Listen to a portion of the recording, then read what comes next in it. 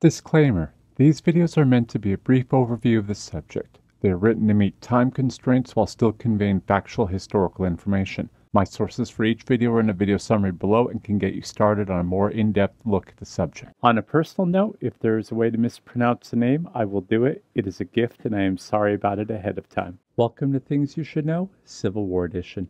Today we're going to talk about the Battle of Vaught's Hill, known also as the Battle of Milton, located in Rutherford County, Tennessee on March 20, 1863. Setting out on a raid, Union Colonel Albert Hall's brigade left Murfreesboro on March 18.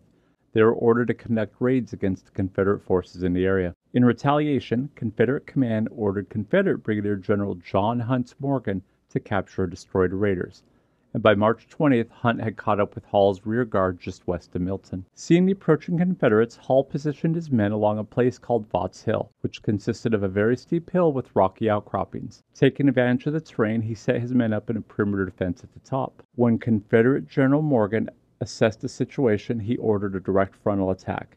As his men crossed the open ground towards the hill, they were hit by devastating artillery fire. Not hesitating, Morgan continued the attack several more times that afternoon, never getting very far up that hill. Even when he was successful in surrounding the hill, they kept him off it. Later that day, he learned that Murfreesboro had sent Union reinforcements and this forced him to retreat. Estimated losses were 38 Union soldiers killed, wounded, or missing, while the Confederates suffered 150 men killed, wounded, captured, or missing. Join us again next time on Things You Should Know, Civil War Edition.